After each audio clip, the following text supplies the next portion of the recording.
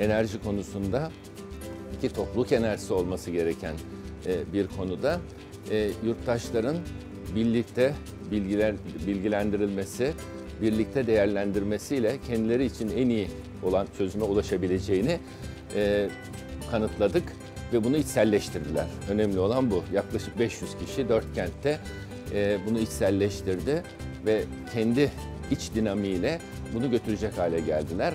Biz aynı deneyimi bütün 81 ile yaymak için bundan sonraki safhalarda e, projelerimizi sürdürmek istiyoruz.